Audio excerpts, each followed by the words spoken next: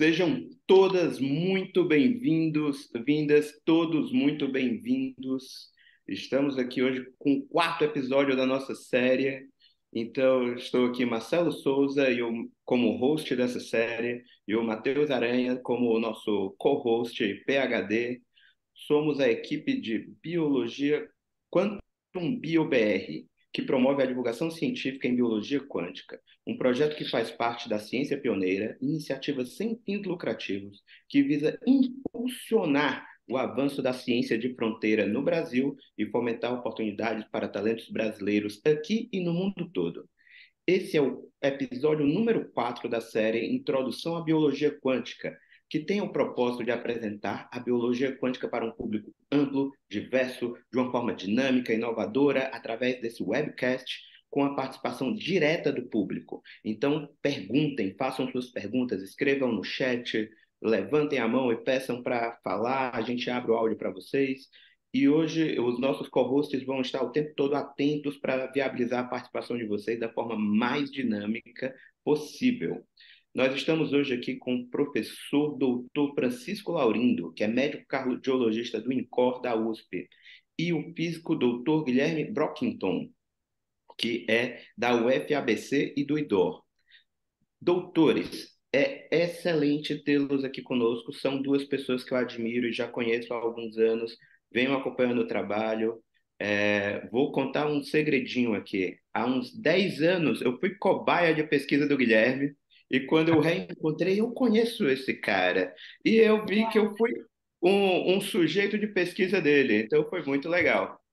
Professor Francisco Laurindo, minha esposa foi aluna dele e diz que foi o professor mais didático que ela já teve. Então, assim, são caras que eu é, interajo há muito tempo, tenho uma admiração gigante e hoje é um prazer enorme tê-los aqui para a gente falar sobre a física quântica dentro do corpo humano. O que é que a gente já conhece, o que é que é novidade, o que é que pode vir a se tornar interessante nos próximos anos. Bom, para a gente começar, por favor, contem para a gente quem são vocês e como estão se sentindo hoje, como chegaram a conhecer a biologia quântica. Vai lá, Guilherme, começando por você, depois a gente passa para o professor Francisco. Uh, obrigado, é um prazer estar aqui, é um prazer uh, falar de ciência, é um prazer conversar hoje com o professor Laurindo. Vai ser, eu acho que vai ser uma, uma conversa muito boa e, e, poder levar ciência para as pessoas é o que move a minha vida, né? Então, eu sou físico de formação, mas meu, meu interesse sempre foi é, como é que faz as pessoas pararem de odiar a física, né? A segunda melhor coisa da vida e todo mundo tem ódio desse troço. E aí o meu desejo sempre foi esse. Então eu fui para a USP fazer um mestrado em ensino de ciências, que é a física, Instituto de Física da Faculdade de Educação. E aí no doutorado eu quis entender mais como é que se dá isso e fui para o laboratório do Antônio Damasio, na, nos Estados Unidos, estudar as emoções no cérebro, porque eu queria ver a relação entre emoção e aprendizagem física. É, então, eu tenho dedicado a minha vida a tentar entender como é que a gente aprende, como é que a gente ensina física e nesse, nessa relação da gente com o conhecimento científico.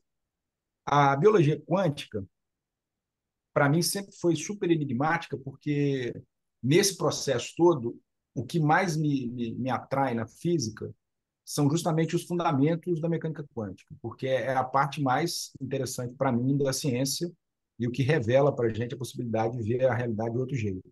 E aí a ideia de entropia, como é que aquilo ali funciona na vida, como é que a vida se dá. Eu, eu comecei a, a estudar a biologia quântica para entender isso, né? Como é que um, um conjunto enorme de, de, de, átomos completamente inanimados dão origem à vida, né? Qual é a diferença da gente com a pedra? E ali não tem jeito, né? A biologia está ali e a quântica vem junto. Então, o meu, o meu, a meu contato foi por aí. E aí, agora, com esse projeto do, da biologia quântica, do, do IDOR, com Ciência Pioneira, foi o momento ideal de aprofundar nessas discussões com, com pesquisadores competentes, como o professor Laurindo, né? Que trabalha nisso a fundo. Maravilha. Vai lá, professor Laurindo. Bom, muito obrigado. É um prazer estar aqui.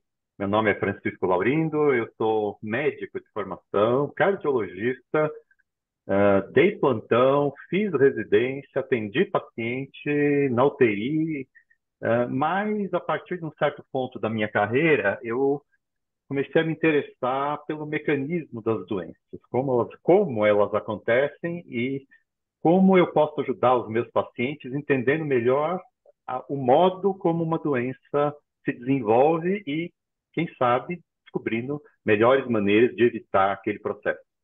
E esse ponto foi levado tão a fundo que eu dediquei agora, desde uh, algumas décadas atrás, uma, toda a minha carreira a entender uh, mecanismos de doença cardiovascular, particularmente, e particularmente com foco na, bio, na biologia redox, que é a biologia que envolve uh, espécies ou excitadas, e, aí já tem uma interface com a biologia quântica aí, né? ou espécies do tipo de radicais livres, que são espécies que têm elétrons emparelhados na última camada, mas também envolve trocas de dois elétrons, né, que uh, envolvem doadores e receptores de elétrons, e nesses processos são formados intermediários reativos, como, por exemplo, água oxigenada, radical superóxido, óxido nítrico, que exercem seus efeitos em diversos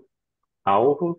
Nem todos os efeitos são lesivos, muitos deles são benéficos e importantes, esse é um ponto que a gente procura entender muito.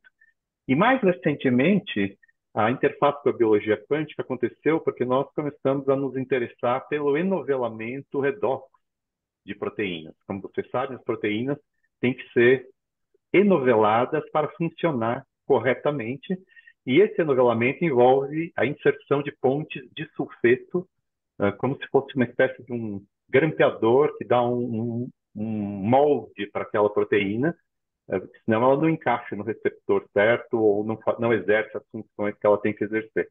E enovelar a proteína é, é atingir o ponto ótimo de entropia, né? é retirar é, energia livre daquela proteína, né? de modo a que ela possa é, sentir que ela está corretamente enovelada. E esse é um ponto, então, que a gente tem se interessado muito, esses catalistas né, de enovelamento redox, e aí começou essa interface com a biologia quântica e, e, hoje nós também estamos interessados no efeito da radiação eletromagnética nas células, de modo que vai ser um prazer a gente conversar sobre isso e é, tentar fazer uma interface entre a biologia redox e a biologia quântica. Sensacional, sensacional. É extremamente interessante. É, o professor Francisco, sei que é uma pessoa próxima também da doutora Clarice Aiello, da UCLA, que já falou aqui no primeiro episódio com a gente. É, e, é, se eu não me engano, recebeu até o Abasal, né, que é um, um, um estudante Sim. de doutorado, também tem um trabalho incrível e com, com modelos eletromagnéticos. Né? Se puder falar um, um pouco sobre essa última parte que tu falaste da interação eletromagnética com as células, qual o, o, o, o que é que é especificamente eh, o grupo de vocês está buscando? Perfeito. É interessante que você tenha mencionado a Clarice, porque nas nossas carreiras sempre há uma pessoa-chave, assim, que dá o clique. A gente às vezes tem aquele interesse em algumas coisas, mas sempre precisa de uma pessoa que faz o elo de ligação. No caso, o elo de ligação entre a biologia redox e a quântica, no meu caso, foi com a Clarice. E nós começamos a frequentar os seminários, a tentar entender as coisas sob esse ponto de vista. Nesse processo, nós começamos a nos interessar pelo efeito da radiação eletromagnética uh, nas células, e, e, junto com o Abasal Barami, que é um estudante da Clarice, uh, eles tiveram toda essa ideia e começaram a fazer alguns experimentos aqui no laboratório, desenvolver os magnetos e no momento, eu posso dizer, resumidamente, que a exposição de células a pequenos campos magnéticos, por exemplo, um campo magnético uh, que você esperaria de um telefone celular, por exemplo, parece ter alguns efeitos uh, importantes na organização do citoesqueleto em células, talvez no transporte iônico, né? e um grande obstáculo que ainda tem uh, para ser eh, desenvolvido nesse campo, para ser superado nesse campo, é padronizar muito bem uh, os experimentos. Então, acho que a gente obtém respostas, a gente não tem dúvida que existe algum efeito, mas graduar esse efeito tem sido um desafio, e é exatamente nesse processo que nós estamos no momento, quer dizer, né, tentando saber exatamente, ok, quanto é o campo magnético a que essas células estão expostas e exatamente qual é o efeito para que a gente possa ter um efeito reproduzível. Né? E não há dúvida que existe um efeito, mas é, tem sido um desafio, não só para nós, mas para outros pesquisadores da área, é, padronizar muito bem o grau de exposição, como os protocolos são feitos. Né?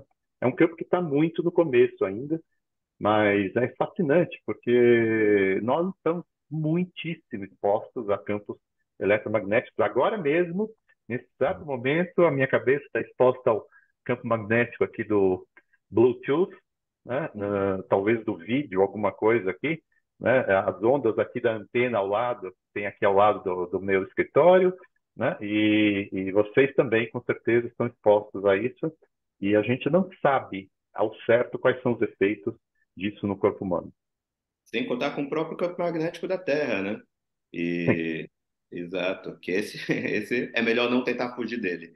E, e, Guilherme, o, você vê grandes desafios aqui como físico e como educador, porque, como tu disseste no começo, assim, oh, a segunda melhor coisa que, que tem no mundo é a física. Me deu até medo de perguntar qual é a primeira. Eu tenho uma ideia. Mas o, o, é um desafio muito grande, é, não só ensinar física, mas mostrar para as pessoas o quão lindo é, o quão maravilhoso é. Eu acho que quando mistura com a biologia, com a medicina, você acredita que isso fica mais ah, apreciável pelas pessoas ou torna ainda mais complexo e talvez até mais difícil de atrair? E com toda essa visão de eletromagnético em células, como que você acredita que as pessoas podem ser mais bem, é, interagir mais com isso, com esse conhecimento, ser atraídas, é, terem uma noção mais verdadeira? E já hum. trazendo também um pouco o que o professor Francisco falou, né, de é, como, como realmente como comunicar e como tornar esse conteúdo interessante.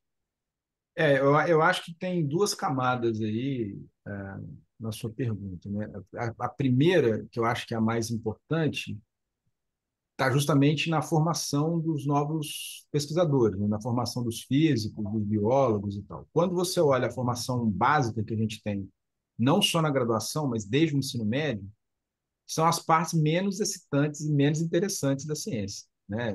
A física no ensino médio você, você é um sobrevivente, né? Sobrevive ali os nerds que curte, porque, de maneira geral, ela é dada de um jeito muito pouco atraente, com professores muito mal formados, e acaba que você não tem interesse em, em entender a beleza que tem atrás daquilo ali, né?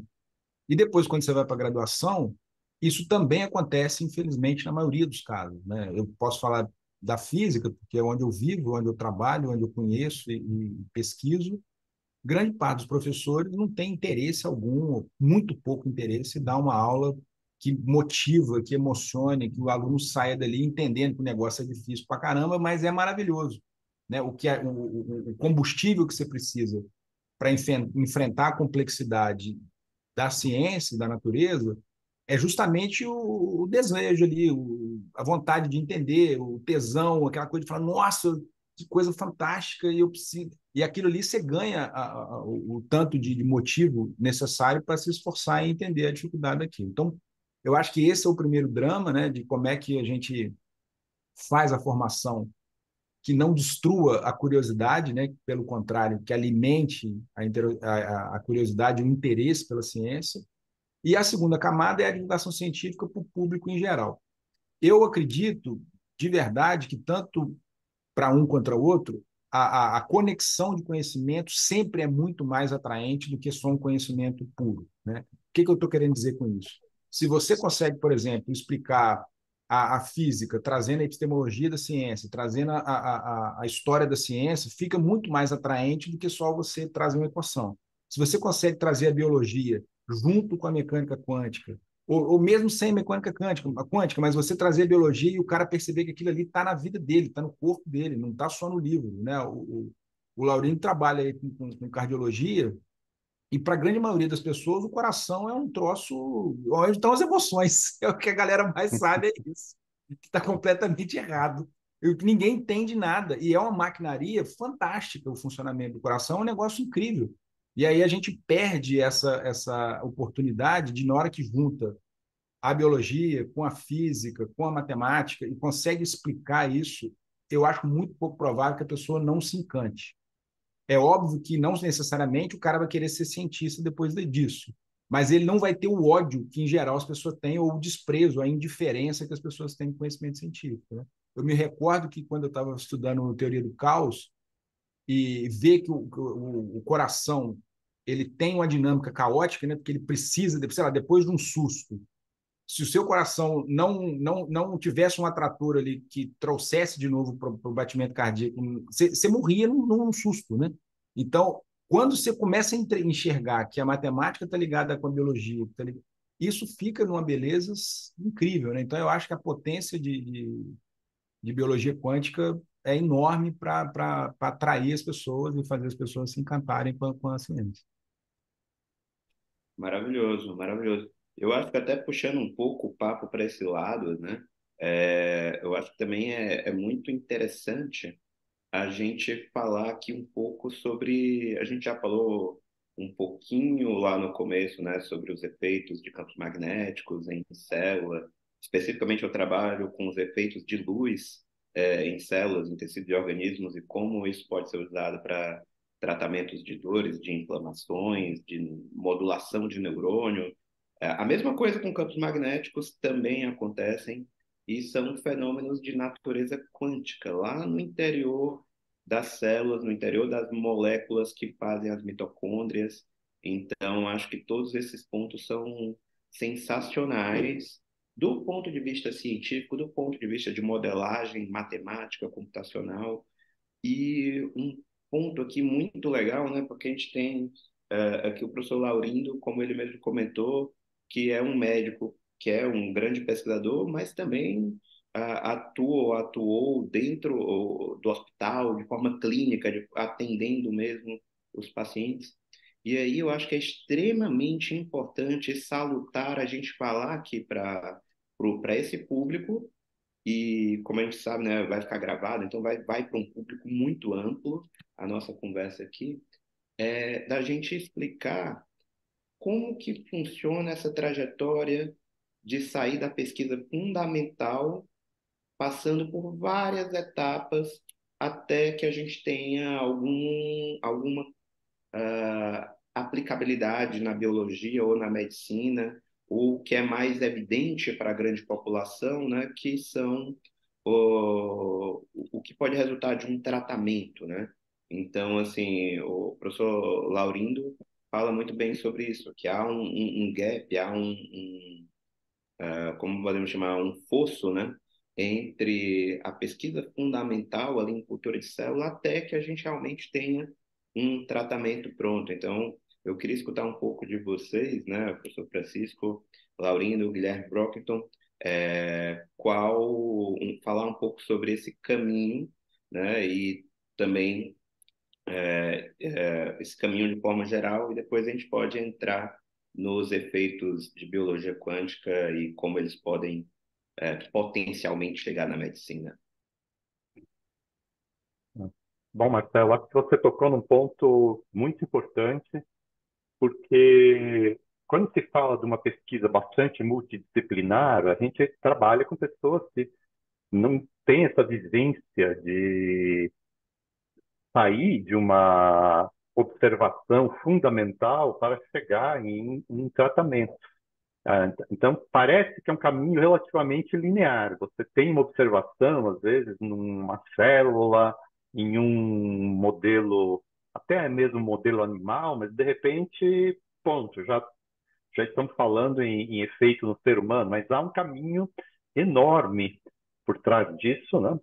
E esse caminho envolve o que nós chamamos de várias iterações, ou seja, a gente vai para o modelo experimental, volta para a célula de novo, vai para o modelo experimental, volta para a bancada, e aí, de repente, a gente está numa condição de começar ensaios clínicos. Isso tem várias fases, primeiro de segurança, depois de uh, eficácia, né, já, já é mais no fim, né? É, o padrão ouro são estudos randomizados, ou seja, em que você oferta um determinado tratamento versus um placebo de, uma, de um modo cego, duplo cego, de preferência, né? e isso é uma trajetória enorme, né?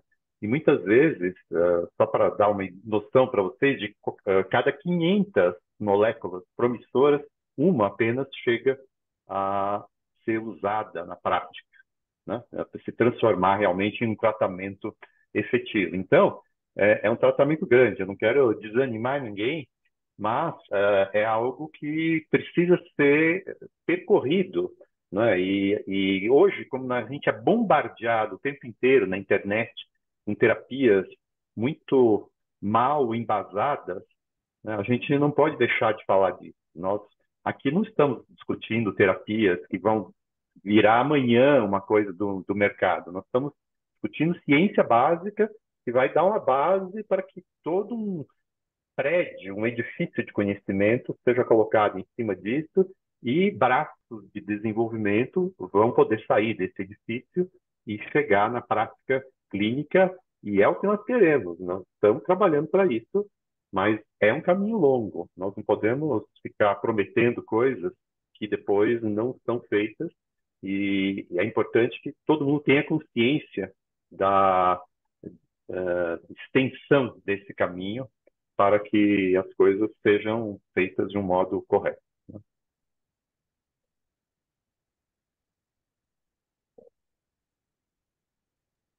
Guilherme, você, quer comentar um pouco? É, não, eu acho que é, é, eu acho que é nesse sentido que, que é importante as pessoas compreenderem a complexidade mesmo do, do processo de produção da ciência, né? E a necessidade de financiamento, toda essa parte é, político-social da ciência, né? Porque é o como ele falou, você, você vai ter muito mais erro do que acerto. Então, se tiver uma coisa sempre focada só de financiar aquilo que vai dar certo, a gente praticamente não tem condição de, de progredir na ciência, porque a ciência é feita de, de erro, né? A gente erra mais do que acerta.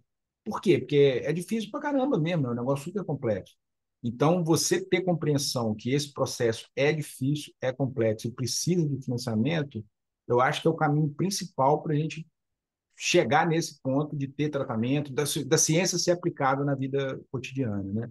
Você precisa de uma mudança de, de político-social do, do, papel da ciência na sociedade.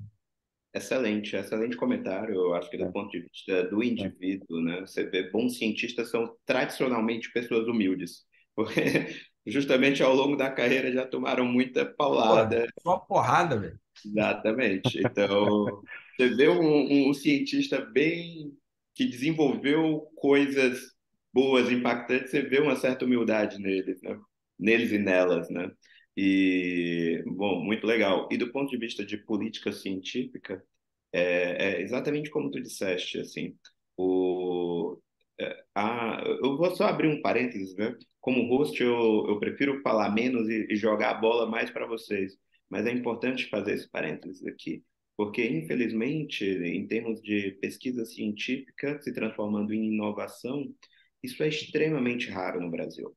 E é justamente seguir, dentro do contexto aqui de biologia, de biomedicina, seguir essa trajetória da pesquisa é, translacional. Então, aqui em biologia quântica já é uma ciência transdisciplinar, então teria que ser transdisciplinar e translacional, o que aumenta a complexidade, o que aumenta a chance de, de erro. Então, consequentemente, se você tem um financiamento à pesquisa que é sempre voltado ao que eu sei que vai dar certo, não há um avanço disruptivo.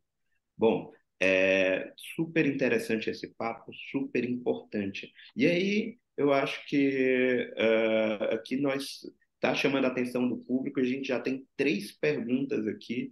É, vou abrir aqui para o Matheus, nosso co-host, trazer as perguntas do pessoal para a gente. Boa. Tem uma pergunta aqui do Roberto Takata. Ele perguntou: é possível detectar eventuais efeitos quânticos em dados epidemiológicos? Por exemplo, para testar se a exposição do campo magnético dos celulares uh, tem algum efeito prático na saúde das pessoas?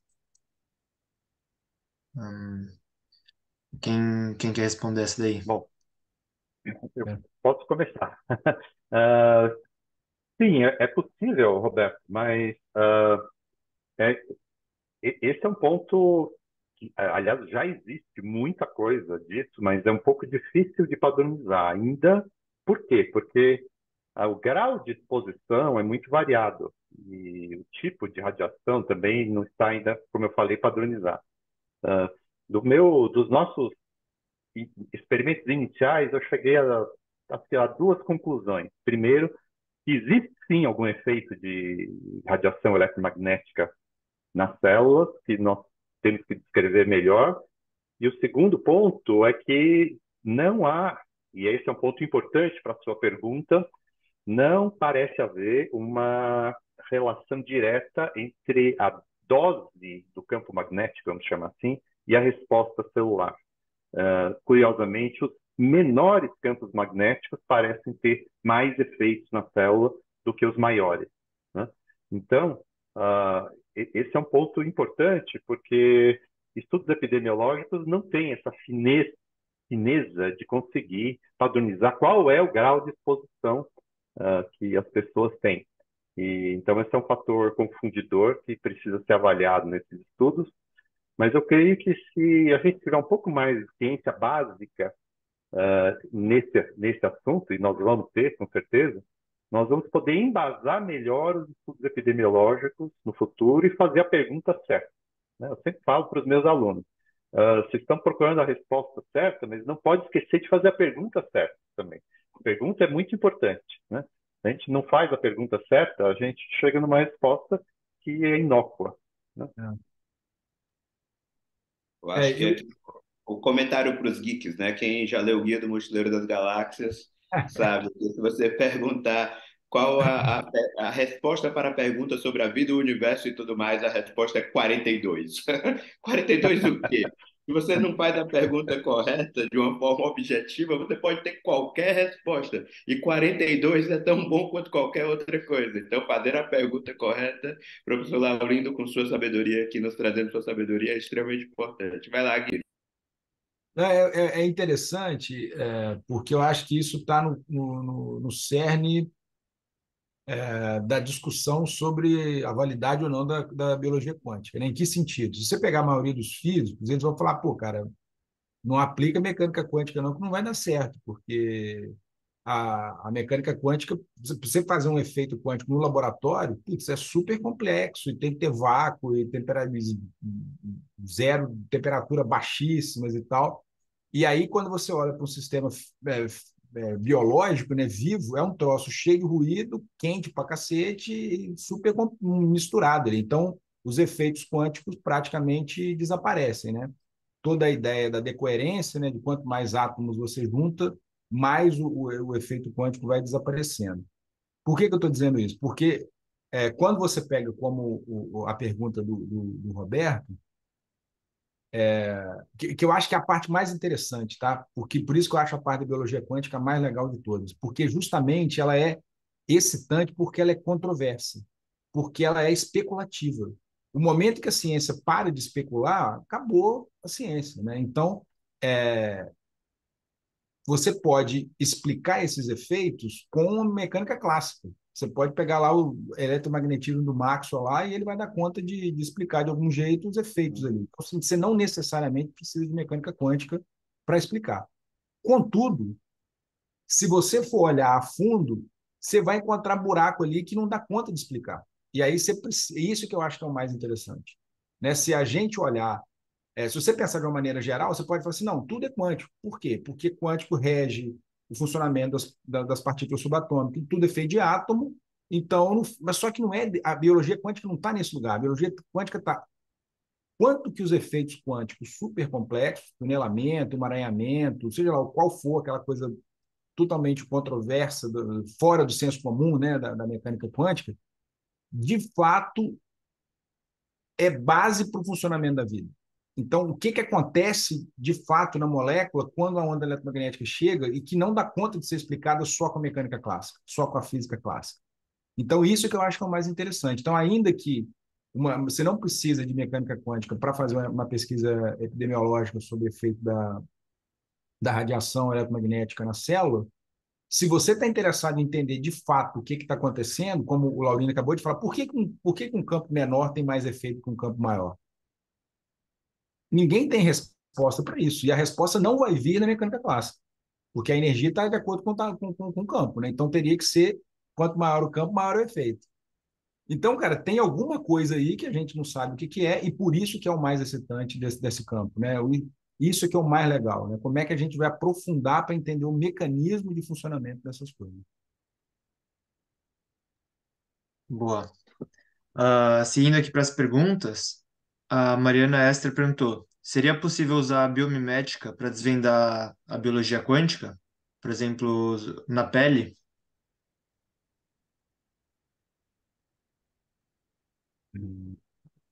Bom, essa, essa é uma pergunta à flor da pele mesmo. É. muito, muito fascinante a ideia. Uh, difícil de, de se dizer, porque, mas a, a pele tem uma coisa muito bacana, que é o fato de ela ser muito acessível e visível. Né? Então as coisas acontecem e você consegue ver. Uh, são modelos potencialmente interessantes sim, porque você pode, por exemplo, colocar e fazer investigações uh, em uh, pele, modelos animais ou até mesmo modelo humano vivo. Né?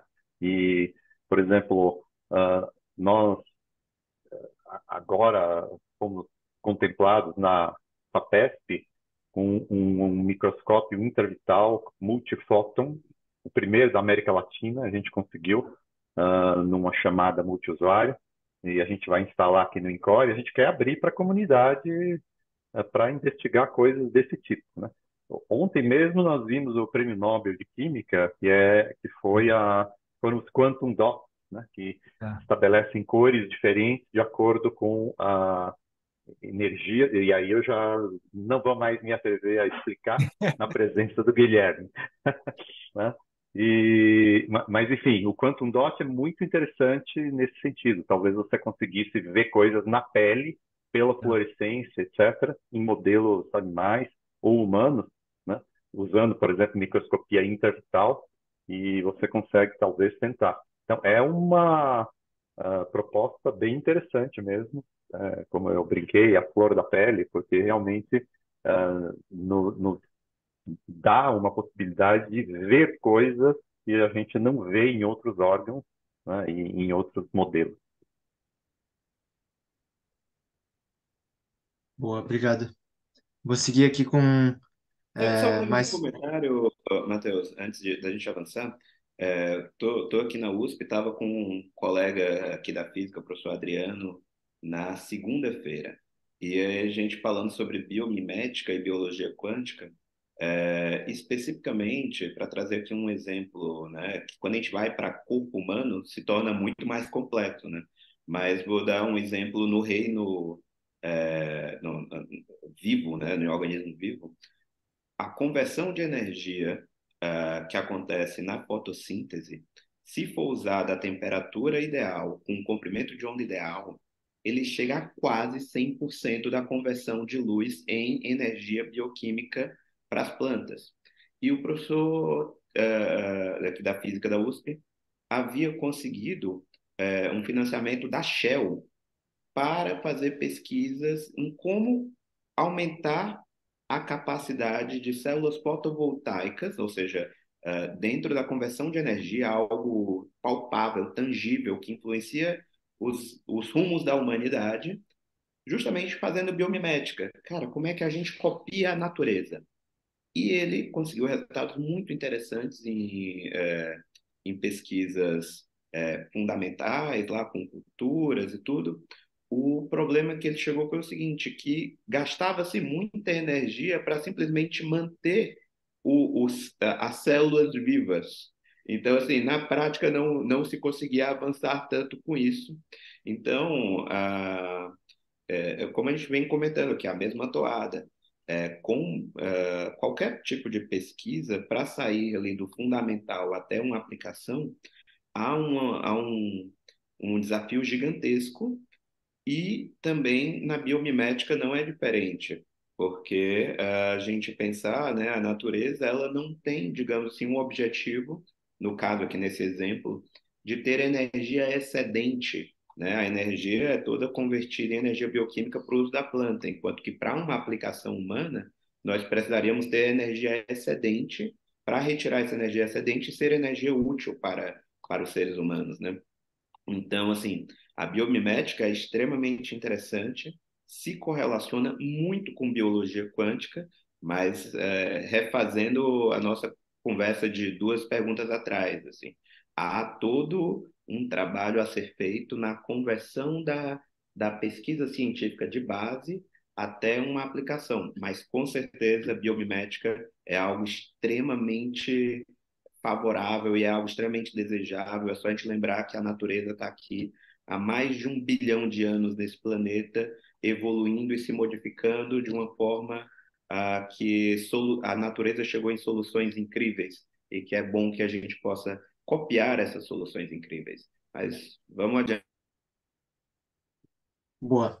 Não, é interessante isso que você falou, que a gente pode até conversar depois é, da, das perguntas aqui, mas é interessante justamente como os seres vivos conseguem é, gastar energia para manter um baixo de entropia, né?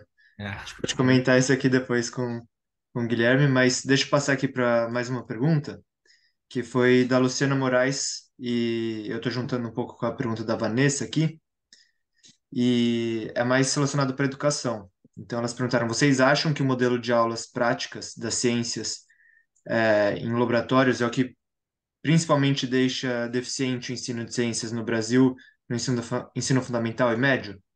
E daí, juntando com a pergunta da Vanessa aqui, é, seria possível utilizar esses recursos disponíveis como rede neural, metaverso, para ensinar e até simular os experimentos que a gente comentou aqui de biologia quântica? Ah, isso eu, eu não tenho dúvida, cara. Assim, eu acho que. É... Mas pera, deixa eu falar com calma, né? eu, o, o experimento em si, ele não, não, não funciona para nada para educar. O que eu estou querendo dizer com isso? Não, não basta ter o experimento e achar que aí o aluno vai aprender. Tem que haver sempre o processo de formação do professor para ele saber como é que ele usa o experimento para gerar no aluno o interesse, né? Porque, por exemplo, eu tive experimento até na universidade que era uma receita de bolo. Assim. Eu põe a, a bolinha aqui, joga ali, tá, anota aqui, e aí no fim o, que aquilo ali não me despertou nenhum tipo de curiosidade para tentar entender o funcionamento da coisa. Então, é, eu acho que as, qualquer prática científica, né, do cara fazer um experimento, do cara rodar, ver o erro, achar o erro, entender por que, que errou, o que, que deu certo, encontrar um negócio que não espera, né, o cara criar hipótese antes de fazer o experimento, né, o que, que você acha que vai acontecer, eu acho que isso é fundamental para o desenvolvimento do pensamento científico. Então, é, é, sem dúvida, a ausência disso na escola principalmente na escola básica, é um, é um problema enorme. Lembrando né, que só colocar também não adianta. Então, tem que ser uma coisa bem feita para que ele seja a, a, o, o, o, o catalisador ali da curiosidade do pensamento científico. Agora, esses usos de novas tecnologias, eu não tenho a menor dúvida. Assim, né? Ainda mais hoje, cara. Assim, se você consegue fazer simulação, se você consegue usar a internet hoje, tem a internet tem, tem, tem sites hoje de simulações de física que eu nunca, de experimento que eu nunca fiz na minha vida. Né? Então, você poder fazer isso é muito mais interessante. E aí, isso que eu acho que é uma coisa legal também. Assim, nas universidades hoje, diferentemente, sei lá, quando eu aprendi quântica, aqueles experimentos ali era impossível de fazer. Então, ficava só na cabeça. Agora, hoje, um laboratório de quântica decente, você consegue fazer uma penca de coisa ali que você só vê no livro. Então, quem está estudando quântica hoje na graduação tem uma chance muito maior de aprofundar no que está tá por trás dos experimentos, que no fim está na ligação com a teoria, né? Então, eu não tenho dúvida que isso seria importantíssimo. Assim, usar a tecnologia é super necessário para que a gente desenvolva mais estudantes mais capazes aí de entender esse ciência.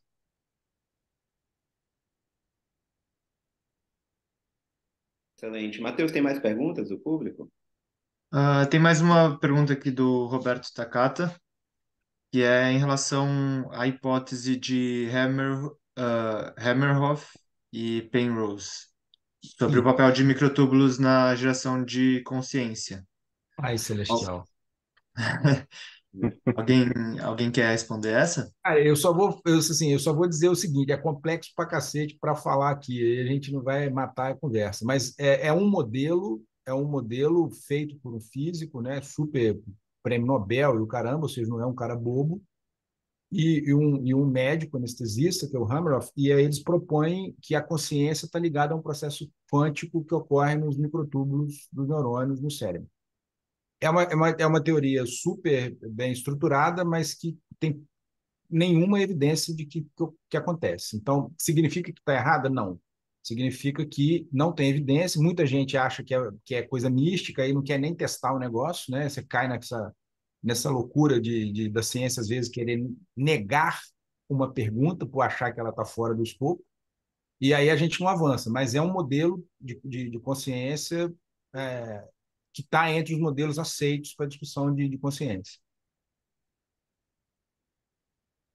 Só um comentário sobre isso, que é totalmente fora da minha área, mas uh, a gente sempre tenta explicar um fenômeno complexo por uma coisa. Na, na minha experiência em biologia celular e discutindo com outros colegas, esses fenômenos complexos de biologia celular e, e, e principalmente orgânicos em como por exemplo a consciência, uh, são dificilmente são explicados por uma coisa só.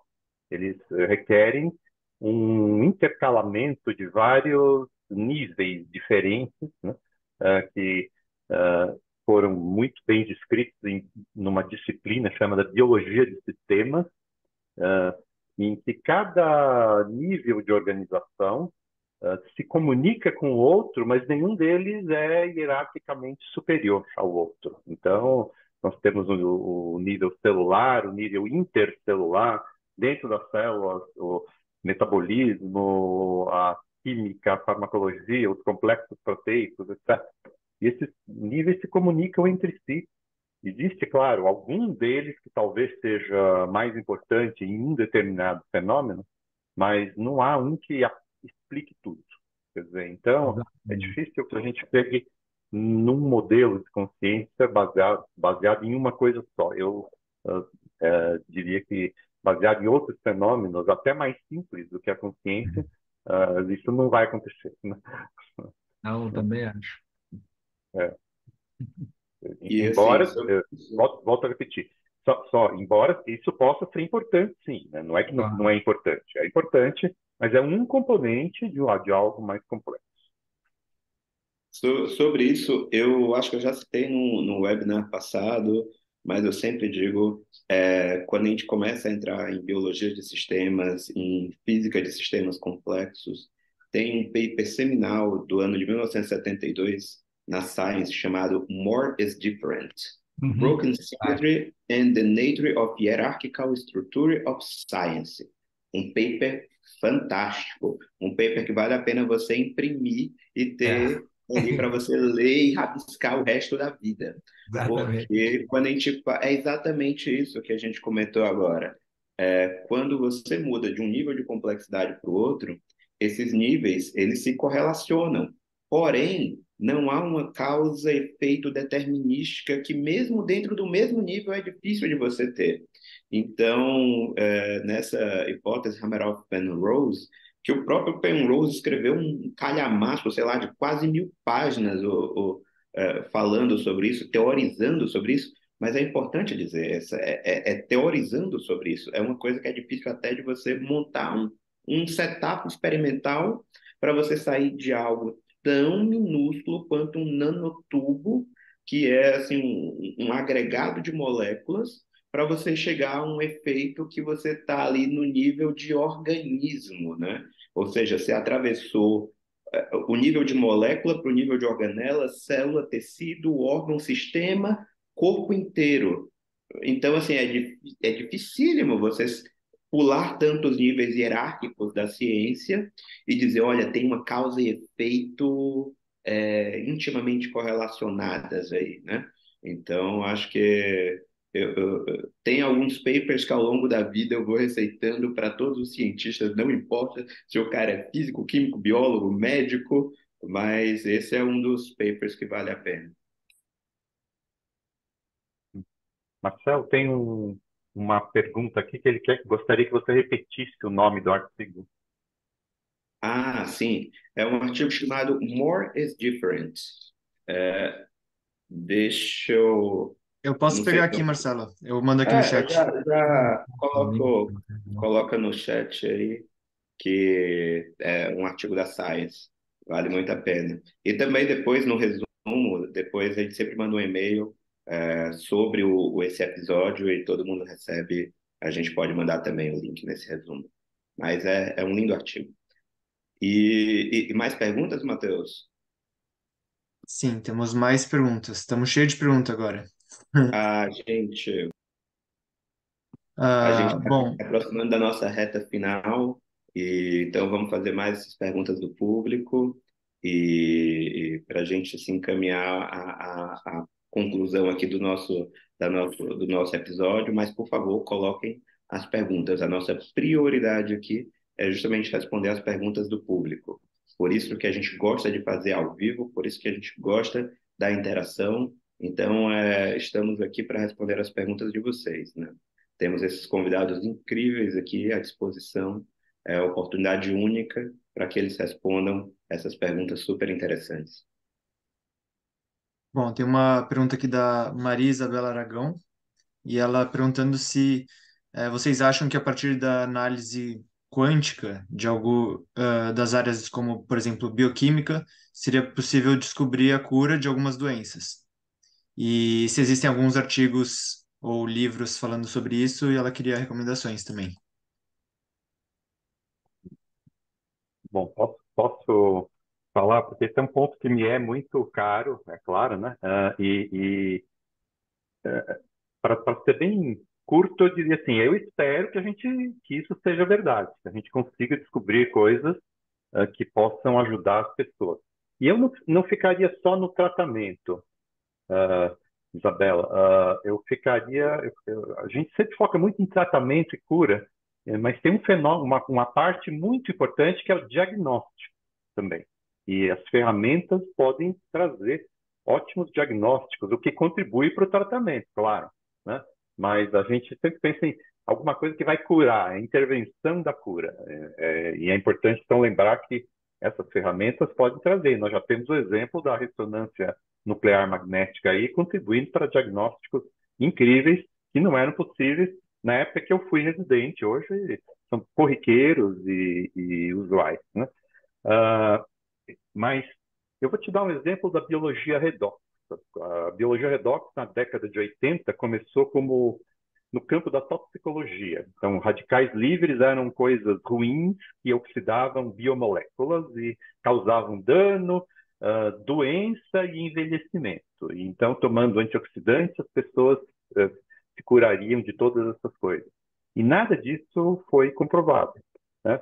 Então, assim, hoje nós não temos nenhum, praticamente nenhum antioxidante comprovadamente eficaz em doenças biológicas e, inclusive, em alguns casos, antioxidantes uh, têm até um certo potencial de, por exemplo, ampliar uh, metástases em câncer, porque eles podem proteger a célula cancerosa também, não só a sadia, mas a cancerosa. Então, uh, é algo complexo. A suplementação de antioxidantes não é rotineiramente recomendada, e recomenda-se hoje, sim, é uma alimentação saudável, etc., rica em antioxidantes de origem natural, mas nas doses que a natureza nos uh, deu acesso, não aquelas que a gente artificialmente aumenta mediante vitaminas e, e outras coisas.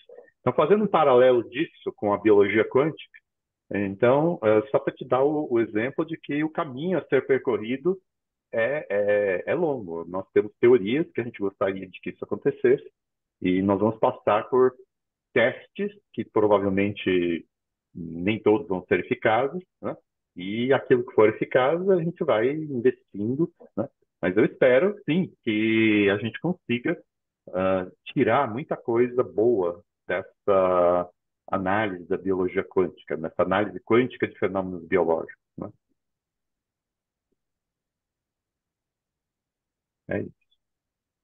Ah, a Maria também comentou que ela Peraí, chegou. fazer um, um comentário ainda na, Claro, claro. tem a, tem a ver com mesmo com um- uma das, das um dos efeitos quânticos que se acredita que exista no, no corpo humano, né? É, como eu já tinha falado antes, a, a biologia quântica ela é excitante porque ela é super especulativa ainda, né? A gente não consegue de fato. E a galera se degladia, né? Quando você vai para os artigos científicos é muito legal. Um fala lá que a enzima funciona com coisa quântica, vem 10 falando que não, depois vai vem 10 falando que funciona. Então é um debate muito quente e é o que move o negócio, né? O que move a ciência.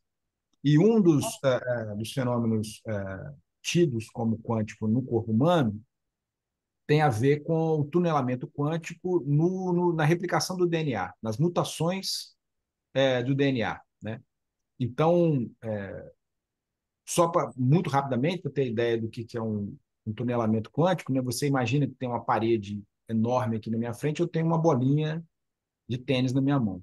Para essa bolinha chegar do outro lado da parede, eu tenho que necessariamente dar uma quantidade de energia a ela suficiente para passar essa parede. Né? Se você imaginar, tem uma, uma, uma, barreira ali na minha frente que eu necessito de uma energia maior do que ela para ela chegar do outro lado. Isso é uma bolinha de tênis.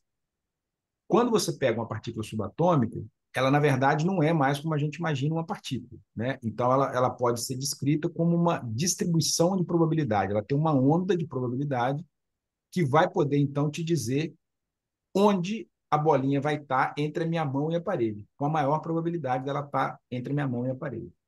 O tunelamento, ele é um, um fenômeno quântico que mostra que existe uma probabilidade diferente de zero, pequenininha, mas é diferente de zero, que essa bolinha apareça do outro lado da parede. Ou seja, a ideia de tunelar é isso, é como se eu jogasse a bola na parede e ela desaparecesse de um lado e aparecesse do outro você tem uma probabilidade menor, que é, você tem uma probabilidade diferente de zero, de que ela vai aparecer do outro lado. Então, essa é a ideia de tunelamento. Quando você pega o DNA, a gente sabe lá, são, né, são as fitas lá de, no, no nucleotídeo, lá você vai lembrar aí do ensino médio, né, adenina, timina, é, guanina e citocina, né? É, e, e essas duas fitas, elas são unidas por pontes de hidrogênio. E aí o que, que qual que é a teoria? É que prótons dessas dos dois lados da fita, prótons podem trocar de posição por meio de tunelamento. E aí no momento em que há replicação do DNA, se esses prótons estiverem em lugares errados, que são chamados de isômeros, se ele estiver no outro lugar, isso gera uma mutação. Então, isso é a, a hipótese criada, que está sendo estudada hoje, tem uma galera estudando DNA, e qual que é a intenção de muitos desses, desses pesquisadores que, que estudam isso?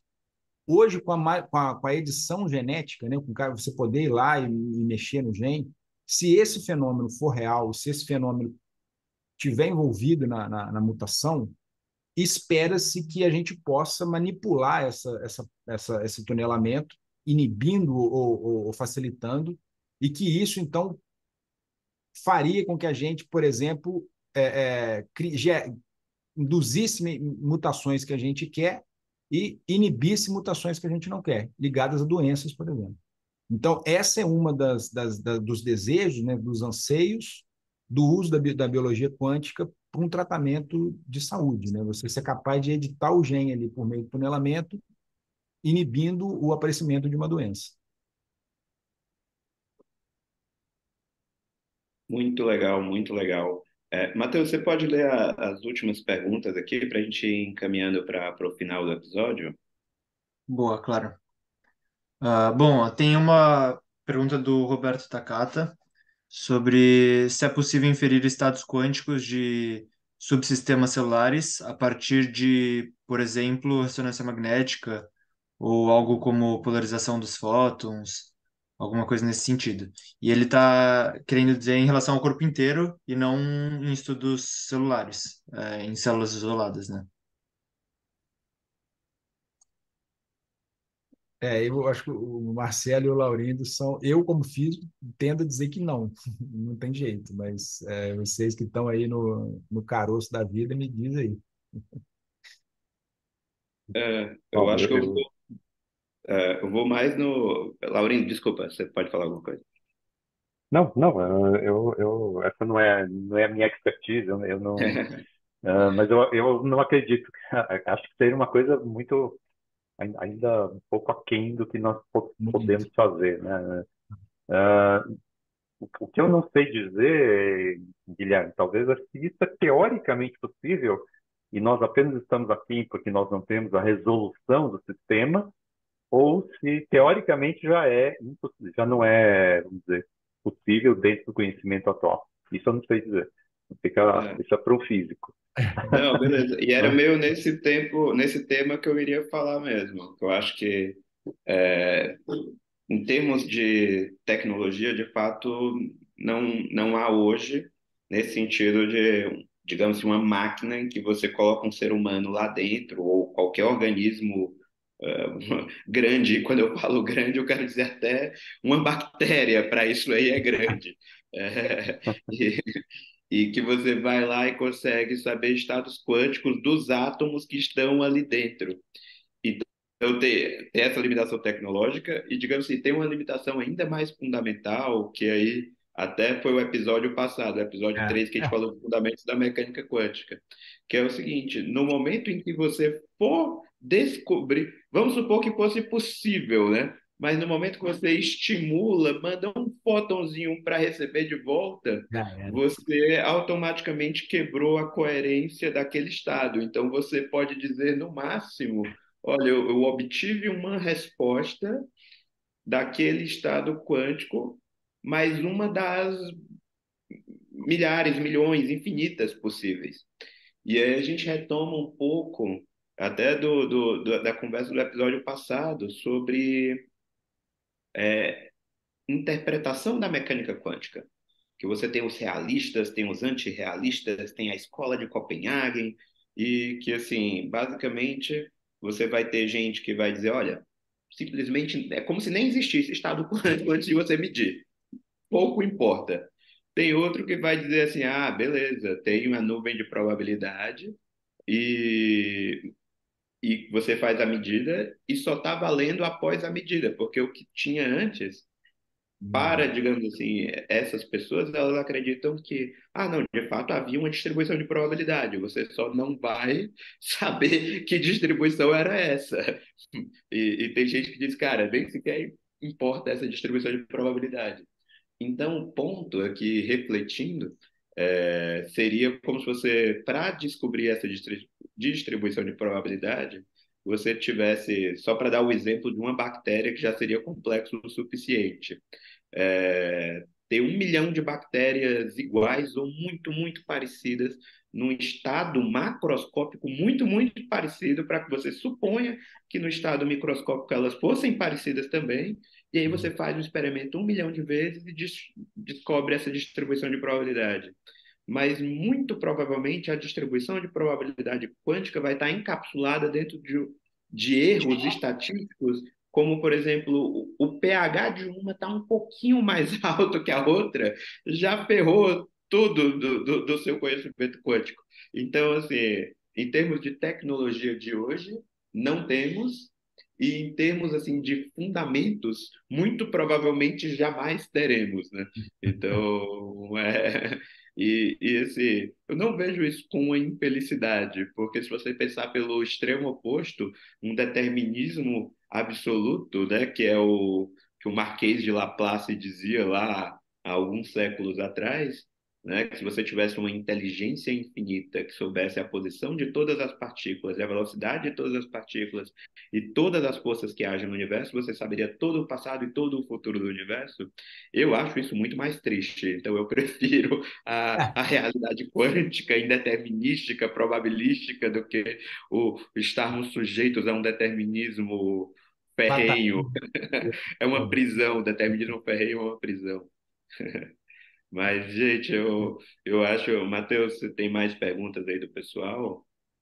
Não, uh, na verdade, Eu acabei de responder aqui o, mais uma pergunta que tinha no chat, mas eu posso fazer os comentários que eu queria lembrar o pessoal que para receber o certificado, é, que bom, se vocês assistirem ao vivo aqui com a gente, vocês podem receber um certificado que pode valer créditos na universidade, e é importante verificar com a instituição, individualmente, cada um, a forma para registrar formalmente esses créditos. É, lembrando que para entregar o certificado vocês devem ter um mínimo de 80% de participação. Então, das cinco, dos cinco episódios, você pode ter perdido um. E a gente vai marcar a presença é, quando vocês preencherem a pesquisa que vai aparecer na tela no final de cada sessão. E, de novo, sobre, sobre o material preparatório que a gente enviou, é importante sempre que vocês leiam para que tenham perguntas e para que tenha uma maior interação aí com os convidados. E, bom, é, acho que era isso, Marcelo. Maravilha. Então, eu queria ir aqui para as considerações finais dos professores Guilherme e do professor Francisco. É, e, Guilherme, se você puder também falar um pouquinho sobre a correlação de entropia e vida, eu já vi você falando em outros momentos, eu acho muito bonito. Então, se você puder fazer ah. esse comentário e também suas considerações finais, depois a gente passa para o professor Francisco fazer as considerações finais dele e vamos partir para o encerramento. Tá.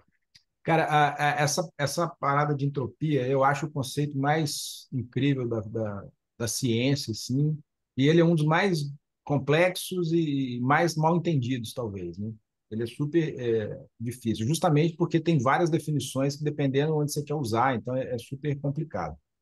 Mas o que eu acho interessante a gente a gente pensar eu estava lendo um, um, saiu um artigo na Nature há, há, poucos meses com um neurocientista de consciência, com a Neil Sepp, e ele diz o seguinte, né? A consciência é, vai ser um problema igual à vida. A vida não é um problema que foi resolvido, ele foi dissolvido, porque a gente já entendeu como é que é e não precisa entender mais. E aí, quando eu li aquilo, eu falei, pô, um cara pálido, não dissolveu não, cara, assim, a gente não tem ideia mesmo do que que faz a gente ser diferente da pedra. A gente não tem ideia.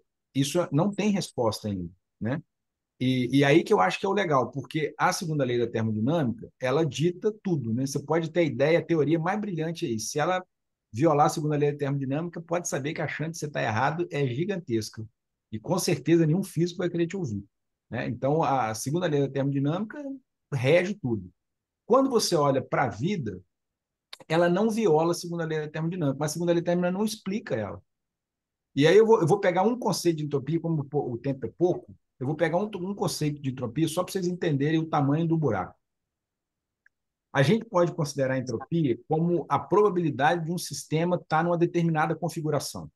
Então, por exemplo, eu entro dentro dessa sala aqui e as moléculas de ar que estão aqui, ela tem uma configuração tal que elas estão todas juntinhas, só no cantinho da porta ali a probabilidade disso acontecer é baixíssima.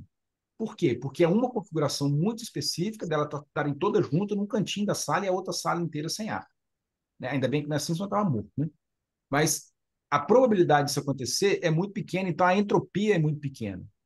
O que, que acontece quando você coloca uma quantidade de ar numa sala? Essas moléculas se espalham pela sala inteira então, isso você tem, vai ter uma entropia muito grande, porque vão, vai ser o, tamanho, né? A, a, probabilidade vai ser muito maior dela ocupar a, a sala inteira. Então, quando a gente pensa nisso, o que, que a gente vê?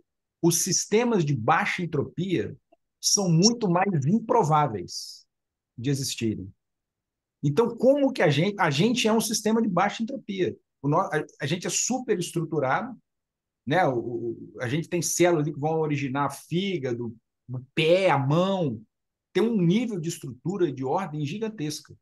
E a gente mantém essa baixa entropia durante muitos anos. A entropia vai começar a valer mesmo, a segunda lei da termodinâmica vai ficar evidente quando a gente morre. Mas até morrer, é um caroço explicar por que, um sistema de baixa energia se mantém durante tanto tempo assim. Uma, uma das possibilidades que foi ventilada, e o cara ganhou até o prêmio Nobel, que foi o Prigogine, porque a segunda lei da termodinâmica diz, diz respeito a sistemas fechados. A sistemas abertos é uma confusão do cacete, e o Prigogine ganhou um prêmio Nobel para tentar entender esse troço. E o, o caminho é por aí. A gente é um sistema aberto que a gente recebe energia de um sistema de, de, de, também de baixa entropia, que é o Sol, e a energia que ele manda para a gente consegue diminuir a entropia da gente. Só que ainda assim você não consegue explicar a vida desse jeito. Você não consegue explicar o universo, né? que aí chama a hipótese do passado. Né? O universo começou numa baixa entropia. Se a probabilidade da baixa entropia é muito pequena, por que existe baixa entropia? Por que, que existe a gente? Por que, que existe o universo com entropia tão baixa? Né? Então, isso que eu acho que é o mais legal e que eu acho que está no cerne da biologia quântica, na minha opinião, porque vai ter condição da gente entender teórica e, e, e experimentalmente no futuro, né? mas principalmente teoricamente, como que esse processo de, de, da relação da gente receber energia, dissipar energia, fazer trabalho, então, como é que isso mantém um sistema de baixa energia durante de baixa entropia durante tanto tempo, né? Então eu acho que aí está a parte mais incrível e mais sexy assim da, da biologia quântica, que é tentar de fato explicar a origem da vida. Maravilhoso, excelente. Bom, Obrigado. Posso acrescentar um ponto? Então, uh, bom, é maravilhoso ouvir de você isso, Guilherme, porque é, é o básico de, de uma coisa que eu tenho focado um pouco recentemente, que é a ideia de que existem moléculas que fazem isso na célula, que, que são responsáveis por gerenciar isso diretamente na célula. É claro que toda molécula, no fundo, ela é um alvo de processos entrópicos, etc. Porque a gente sabe, como dizia Einstein, que a natureza não joga dados. Eu não acredito que a entropia seja um fenômeno, o controle da entropia uh, gerando algo que nós definimos como uma homeostase, ou seja, um equilíbrio dinâmico, uh, vamos dizer, uh, em, em, que o que entra sai, vamos dizer assim. isso não deve ser algo estocástico. Deve ter há moléculas que devem controlar isso e, os, e as, os grandes candidatos são aquilo que nós chamamos de chaperonas. As chaperonas são uh, proteínas que se especializam em orientar. A chaperona é o padrinho de casamento, vamos dizer assim, que leva o noivo até o altar né, para ele não fugir antes da hora. Né? Uh, então, a, todas as nossas proteínas têm chaperonas, moléculas que ajudam a essa, que essa proteína seja novelada tanto no citoplasma como no retículo endoplasmático. Né? Eu estudo muito uma que está no retículo endoplasmático. E isso faz com que essa molécula se enovele. Por exemplo, ela tinha um, um, uma sulfidrila, um grupo SH, que vira uma ponte de sulfeto. Nesse processo, a energia livre dessa molécula caiu muito, porque ela tinha uma mobilidade, ela era desenovelada, descoordenada, e agora ela tem uma ponte de sulfeto e que restringe essa mobilidade, então a energia livre caiu até um nível ideal. E, a, por exemplo, a nossa matriz extracelular ela é coalhada de proteínas com um número gigantesco de ligações de sulfeto. Portanto, há uma exportação de entropia conforme você vai do intra para o extracelular. Né? E essa então unidade célula matriz ela é uma exportadora de entropia nessa forma. A gente já discutiu isso até em um artigo que a gente escreveu recentemente. Mas isso não deve ser estocástico. Né? Imagina, por exemplo, um órgão uh, que exista um fígado. Para mim é, um, é, uma maravilha, é uma coisa incrível, é um órgão incrível. Mas para mim ainda é mais incrível que existam dois pulmões simétricos. Né? É. Uh, que existam dois hemisférios cerebrais iguais, dizer, não iguais, mas uh, vamos dizer análogos, que se completam.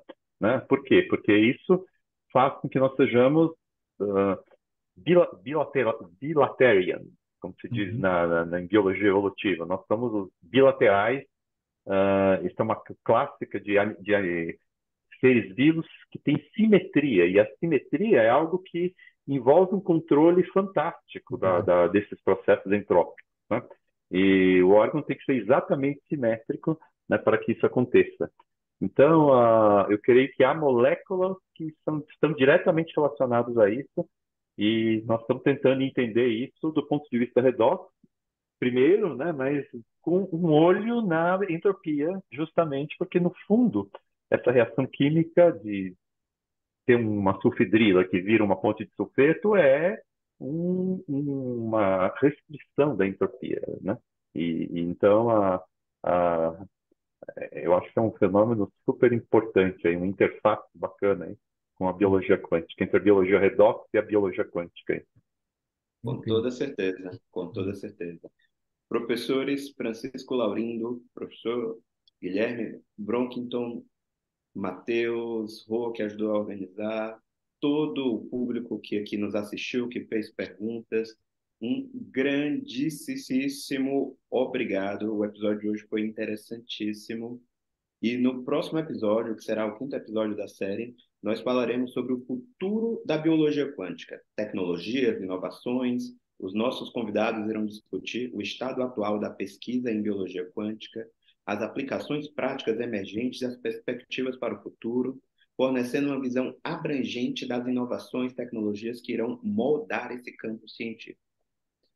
Esse foi o episódio número 4 da série Introdução à Biologia Quântica. Espero que vocês tenham gostado e vejo vocês no nosso próximo episódio. Muitíssimo obrigado.